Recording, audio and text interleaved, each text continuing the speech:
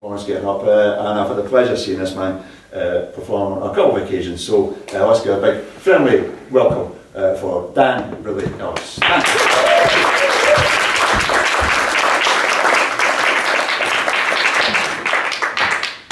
So a great philosopher once wrote, trees are like human beings. They much prefer company. and yet, they still don't come to my parties. no, although I may not look like it, I'm actually a bit of a tree hugger. I like trees. I think they're great. I'm not sure what they think about me, but I stopped expecting them to hug me back a while ago. See, because we stay together for the good of the children. no, because we need trees, don't we? We need them for the good of the environment and for the things that they can provide us with, like food and energy and materials, and that's just as true now as it's been throughout history. After all, none of us, none of us would be here right now if our ancestors had not been able to get wood. they needed it. now, I work for the Forest Products Research Institute at Edinburgh Napier University, and we do various sorts of research aimed at increasing the number of trees growing in the forests. And the one thing that all these various sorts of research have in common is that they involve chopping down trees. now, a lot of you are probably thinking that that's not very fair on the trees, uh, even if we do give them a 30 second head start.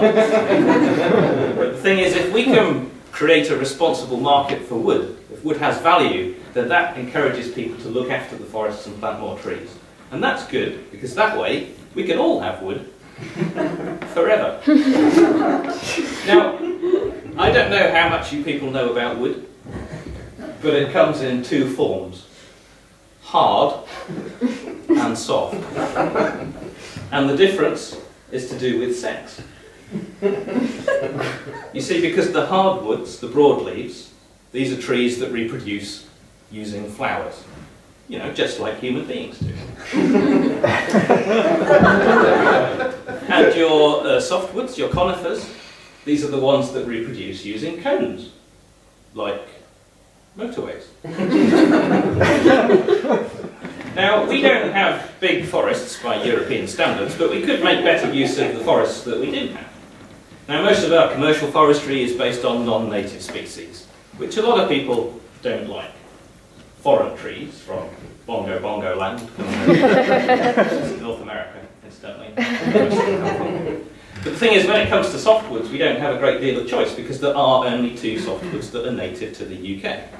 We have the yew, which is very slow growing, and we have one of the oldest yews in Europe, in Scotland.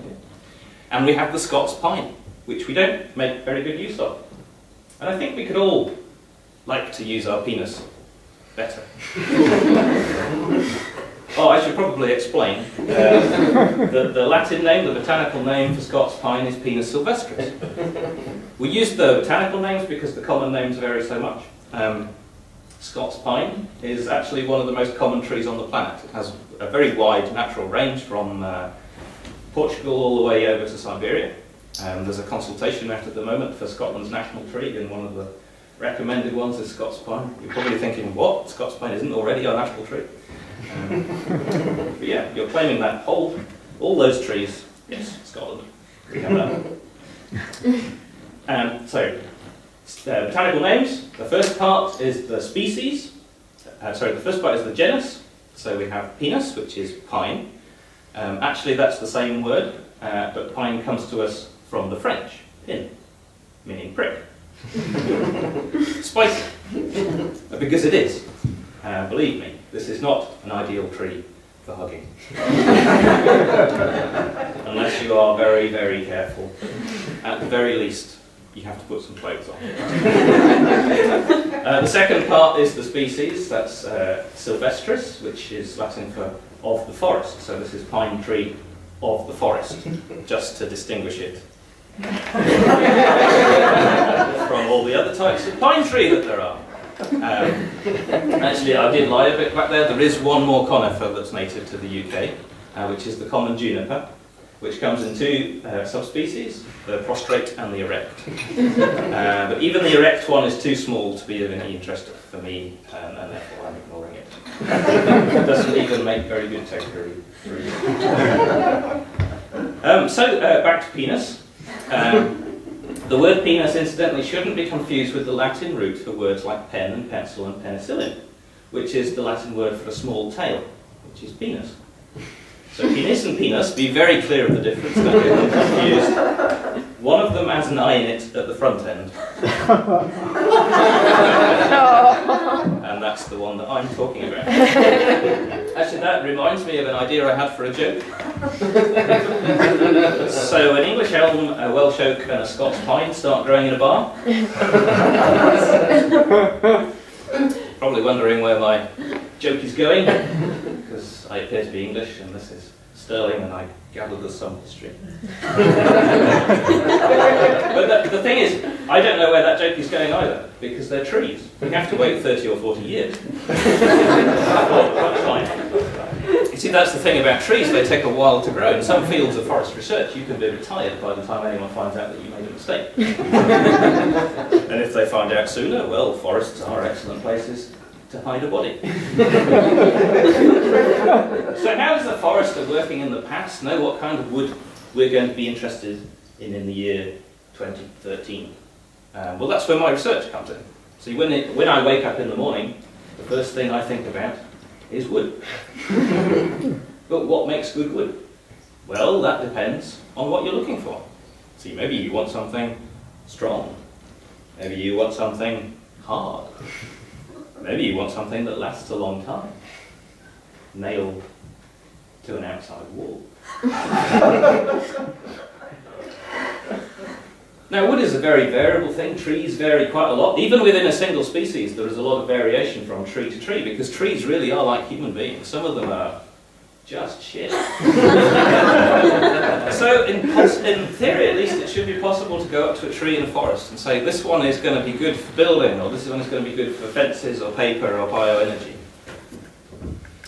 Now um, in the past foresters were mainly just concerned about the size of their wood and how quickly they could get it. But in actual fact girth is not all that matters because if you're planning an erection you're probably interested in things like stiffness. stiffness is a measure of how much something bends under load. It's not to be confused with strength, which is how much uh, load something can take before it breaks. Ideally, if you're building a building, you want it to be both stiff and strong. Now, wood is an ideal construction material, as long as what you want to build is a tree.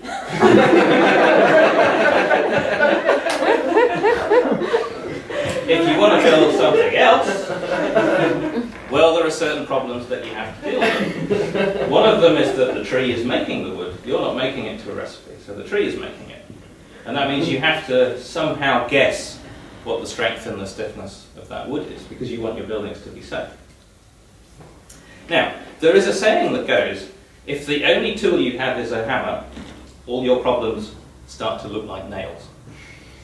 Now that's not entirely true because there are a lot of things that you can hit with hammers that aren't nails. I, for example, have a science hammer. This is not it. This is my teaching hammer. no, I don't use this for hitting students. That would be stupid. Turns out that actually makes them forget things. No, but this differs from my science hammer in only one very important respect. I don't have to sign this hammer out of the lab. now here's the science, because stiffness is something that can be measured non-destructively. And if you measure stiffness non-destructively without damaging a piece of wood, then you can estimate the strength. And that way you can sort wood, sawn wood, logs, even trees, into grades, good and bad. That way you can make your building safe. One of the technologies for doing this is acoustics, because the speed that sound travels through any material is a function of the density and the stiffness of that material. So if you can measure the speed of sound, you can measure the stiffness and, and you can predict the strength. And one of the really simple ways of doing this is simply to bash your wood and listen to the sound it makes as it resonates. Because what, from that note, if you can measure the size and the shape of the desk, you can calculate the stiffness. That allows you then to grade the wood. And that is what I do. so I hold down a research post at Edinburgh Napier University while someone else hits it with a hammer. Thank you very much.